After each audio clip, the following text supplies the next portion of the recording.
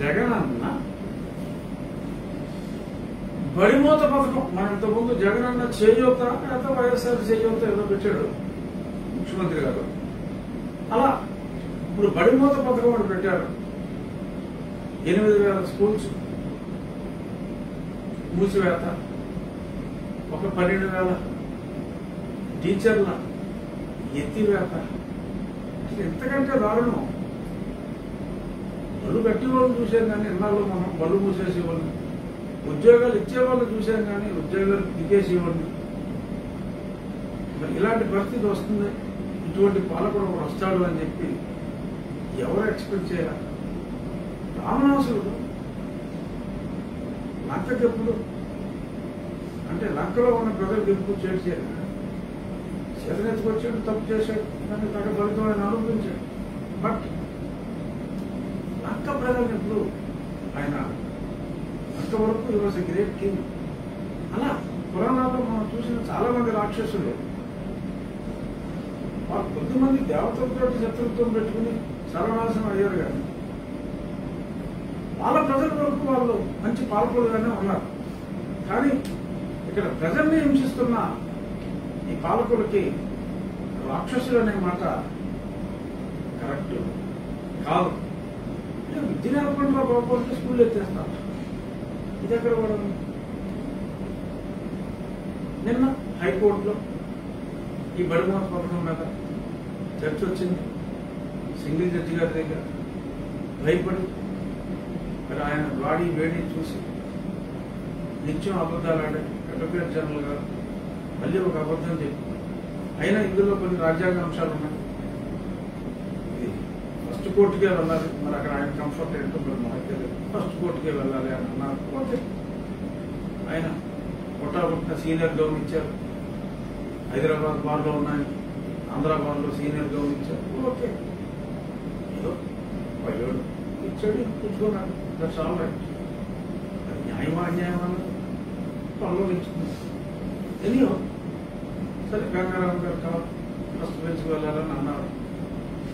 ఎక్కడికి వెళ్ళినా న్యాయం న్యాయం కోర్టు అన్నది స్పష్టంగా ఈనాడు పేపర్లో ఆంధ్రజ్యోతి పేపర్లో వచ్చింది ఇంకా అన్ని పేపర్లో వచ్చింది. మాట్లాడిందో రాసుకోవాలి. బట్ ఈ సాక్షి ఈ యార్థు పత్రికలో విభిన్నంగా రాశారు. ఏంట్రా అంటే ఇంగ్లీష్ మీడియం మంచిది. తెలుగు మీడియం కూడా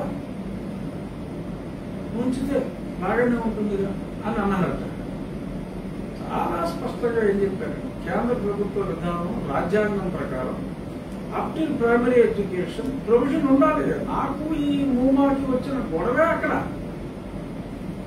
గొడవే అక్కడ. ఈయనేమో ఎత్తేస్తానంటాడు మాతృభాషలు ఎత్తేస్తానంటాడు దేనికి? అంటే మన భాష మన కల్చరు ఇవన్నీ వదిలేసి కేవలం విదేశీ భాష. మనం మాట్లాడితే అమెరికాలో బాత్రూమ్ కడిగోడు కూడా ఇంగ్లీషే మాట్లాడతాడు ఇంగ్లీష్ మాట్లాడితే పెద్ద ఉద్యోగాలు వచ్చేస్తాయా? ఏంటిది? ఏమిటి విపరీత జాడ్యం? అర్థం కాదు. సుప్రీంకోర్టులో దర్ వాస్ స్టే ఈయన నేను అంతా ఇంగ్లీష్ చేస్తాను ఇంగ్లీష్ చేస్తానంటే సుప్రీంకోర్టులో స్టే ఉంది. ఎవరో ఒక ప్రముఖ బీజేపీ నాయకుడు సుధీష్ రామభట్ల గారు వెళ్ళారు. There మొన్న ప్రధానమంత్రి గారు కూడా చెప్పారు. అర్థం కాదు. అంత స్పష్టంగా ప్రధాని గారు చెప్పారు. సుప్రీంకోర్టు రూలింగ్ ఉంది. రాజ్యాంగం ఉంది. మరి ఇంతగా రాజ్యాంగాన్ని అతిక్రమిస్తున్నారు. అమ్మో చేయి దాటిపోతుందని మరి అడ్వకేట్ జనరల్ గారు ఆ వన్ మంత్ సెవెన్ అసలు ఇంప్లిమెంట్ చేయట్లేదండి అని ఒక అందమైన అబద్ధం. ఇంకా మొదలెట్టలేదండి. ఒక నెల టైం ఉందండి. స్టే వద్దండి. అక్కడికి పంపించండి అని అడిగారు. అది ఆల్రెడీ మొన్న అదోని అదాని అన్న ఆ సభలో ముఖ్యమంత్రి గారు చెప్పారు. ఎనిమిదో క్లాస్ వరకు ఇంగ్లీష్ మీడియం చేస్తున్నానని చెప్పి చెప్పారు ఆయన. మరి ముఖ్యమంత్రి గారు అబద్ధం చెప్పారు పబ్లిక్కి అడ్వకేట్ జనరల్ గారు కోర్టుకు అబద్ధం చెప్పారు. రెండు అయితే నిజాలు కావు. ఎవరో ఒకళ్ళు అబద్ధం చెప్పారు. మరి కోర్టుకి అబద్ధం చెప్తే అది పెర్జరీ అవుతుంది. మరి పబ్లిక్ అబద్ధం చెప్పొచ్చు ఎందుకంటే చెప్పేది అబద్ధాలు కాబట్టి. పబ్లిక్లో ఎన్ని అబద్ధాలు అన్నా అది పెర్జరీ అవ్వదు కాబట్టి. కోర్టును తప్పుదో పట్టేసుకోవడం తప్పు కాబట్టి. కాసేపు శ్రీరామ్ గారు చెప్పింది. నిజమని అనుకుందాం. ముఖ్యమంత్రి గారు చెప్పింది అబద్ధం అనుకుందాం. కానీ అక్కడ పుస్తకాలు ఓన్లీ ఇంగ్లీష్ మీడియం అని చెప్పి డిఈఓలు అందరికీ చెప్పేశారు. పుస్తకాలు లేకపోవడం ఒకటి స్కూలే లేకపోవడం ఇంకొకటి. బడి కనపడటం లేదు అని పాపం పసిపిల్లలు రోడ్డెక్కి ఉద్యమాలు చేస్తున్నారు. మరొక పక్క న్యాయమూర్తులు నేను పేపర్ చదువుకోరాదు ఎందుకు చదువుకోరు? బడి కనపడటం లేదు అని విద్యార్థులు రోడ్డెక్కితే మేము ఇంకా బడులు మూయలేదు. నెల రోజుల తర్వాత నిర్ణయం తీసుకూడదము అని అడ్వకేట్ జనరల్ గారు కోర్టులో ఎలా చెప్తారండి అంటే ఎవరో ప్రశ్నించేవాడు లేడని చెప్పి ముఖ్యమంత్రి రోడ్ల మీద తిరుగుతూ నోటుకు వచ్చినట్టు ముఖ్యమంత్రి హైకోర్టులో అడ్వకేట్ జనరల్ నోటుకు వచ్చినట్టు న్యాయమూర్తులకి చెప్తే. నిజం చెప్పిన ఎవరు లేరా? మాలంటూ చెప్తారు న్యూస్ పేపర్ కటింగ్ ఉంది. హైకోర్టు రిజిస్టర్ గారికి పంపుతాను నేనే. పిల్లలు చేసుకునే యాజిటేషన్ అయ్యా మా స్కూల్ ఎత్తేసారని చెప్పి.